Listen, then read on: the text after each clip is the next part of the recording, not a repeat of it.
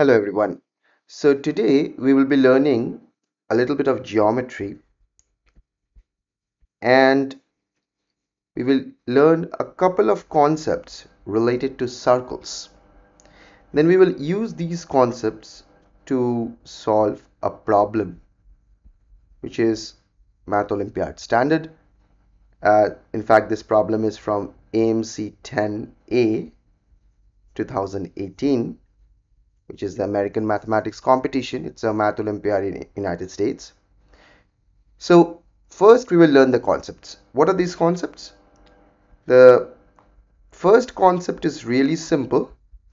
It's possible that many of you know this, that tangent radius relation. And the second thing that we will learn is a center collinearity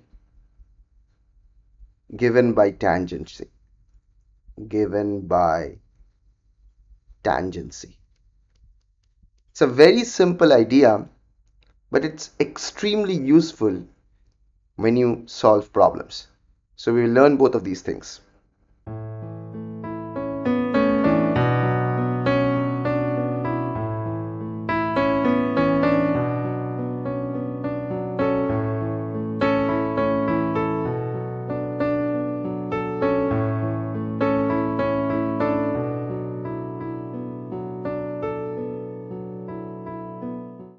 The first thing, the tangent radius relation, which I said most of you know, is the following. That if you have a circle and if you have a tangent to the circle, then let's draw the center, let's call it O and suppose the point of tangency is T and the tangent itself is Tm. So I just made a point on the tangent and I call it M. So TM is the line that is tangent to the circle. Now if you don't know what a tangent is, it's a line that touches the circle at exactly one point. So at it's external to the circle. Okay. So maybe I could make this a little bit smaller to make some space. Okay. And take this a little bit higher. Okay. Now this um, let's join the segment OT that is the center and the point of tangency and this is the claim that OT is perpendicular to TM. This radius is perpendicular to tangent. Many of you know this as a fact from geometry. Um, I always prefer a little bit of proof why something is working is kind of more important than exactly the fact. So why is the tangent um, perpendicular to the radius at the point of tangency? So very there is a very interesting argument for that. Let's take a point outside the tangency point which is let's say T1. We will show that OT1 is not perpendicular to the tangent thereby indirectly showing that OT is perpendicular because there is at least one perpendicular from a point to a line. That's an axiom. There is exactly one perpendicular from a point to a line external to the point.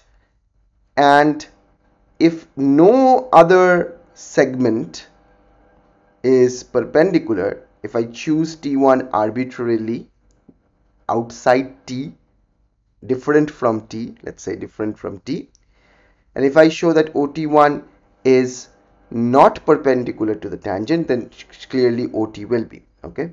So why is OT1 not perpendicular? Well uh, we will show that OT1 is larger than OT but how will that help? Because there is another definition of perpendicularity and that is perpendicular is the shortest distance is the shortest distance or shortest path from a point to a line. So if you have a point and if you have a line, the shortest path from the point to the line is the perpendicular path. That's a definition of perpendicularity in fact. We will use that definition. We will show that OT is in fact shorter than any OT1 if T1 is different from the point of tangency. And that's very easy because OT1 is clearly larger than the radius and OT is equal to the radius. So this is larger, always larger than OT. So OT is in fact the shortest path from O to the tangent and that's that gives us the proof that OT is in fact perpendicular to the tangent. It's almost like a definition you can say. Okay, now the other fact that center and collinearity is given by tangency. What is this? This is a very useful idea and I'll use uh, a different color for it. This often comes up in a uh, problem. So if you have two circles which are tangent to each other, that is the circles are touching each other at exactly one point, we will show that the center of the two circles O1, O2 and the point of tangency, let's say T, they all lie in the same straight line. That's the second fact. Seems like a very easy thing, but again, we are interested in the proof. So what we will do is we will do a construction. We will draw the tangent line, a line that is tangent to both the circles. Okay, great. So let's join O1T and let's join O2T. So O1T is perpendicular to the tangent line. So this is 90 degree or a right angle. And this is also perpendicular. O2T is perpendicular. We just now proved that radius is perpendicular to the tangent. For a moment, don't suppose you do not know that O1T, O2 are on the same straight line. Pretend that they are not. That is, these two are two different segments, the green and the blue one.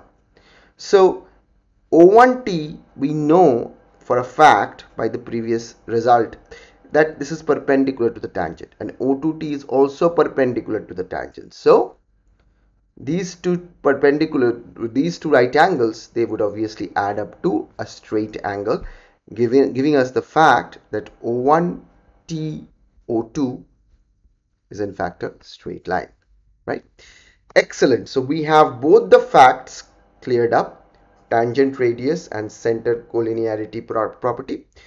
Let's use them to solve a problem. It's a very simple problem, very beautiful problem from American Mathematics Competition. The problem is like this. You have a circle,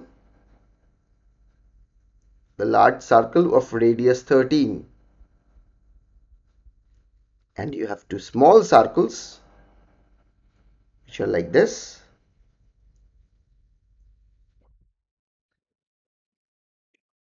my drawing is a little bit off but that's kind of like that two equal circles with radius 5 and they're tangent to each other at a particular point. So let's call this point T.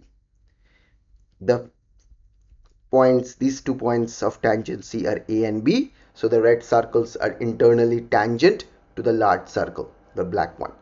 So our goal is to find AB the length of AB with this little information. Excellent. Let's see how we can do it. So whenever you are dealing with circles and tangencies, here is a trick. You should always mark the centers of the given circles. They almost always come in handy. Okay, so this one is O suppose and this one is O1, this one is O2. Now using the tools, we know a bunch of things. For example, we know that O, O1, O2 are on the same straight line. This is by the collinearity of centers property. Okay. Now, similarly, O, O2B are also on the same straight line. That's also collinearity of centers. In fact, O1T, O2 is a straight line. Excellent. And let's finally join AB let's finally join AB okay so we have two triangles here. O1 O2 O this is the first triangle the smaller one. And then we have the larger triangle which is this one. Okay. So this is triangle OAB okay the first thing is that these two triangles are similar to each other. Why is that? First notice that OO1 the length of OO1 this is total radius which is 13 the big radius which is 13 minus 5 the small radius right? So this is 13 minus 5 and this is also 13 minus 5 which means both of these are 8 and these two are 13 of course. So this means that both of these triangles are isosceles triangles and in fact they are similar. So these two triangles are similar to each other. Why is that? Because of course this angle is common these two angles are equal and these two angles are also equal. So if this is theta then this is 90 minus theta by 2 this is 90 minus theta by 2 this is also 90 minus theta by 2 and this is also 90 minus theta by 2 so of course the sides are proportional. You can use that. So these triangles are similar. We are at the very last step of this problem. Let's use similar uh, similar triangles have proportional sides that particular property.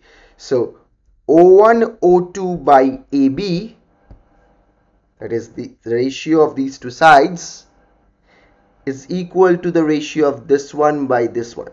So is equal to OO1 by OA okay?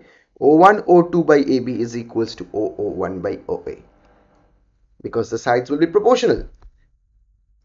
Can you finish this problem? Can you give me the final answer? There is just if you have to just plug in the numbers now to give me the final answer and put a comment in the description or if you are in the Cheenta Genius app then you can put the answer in the answer panel.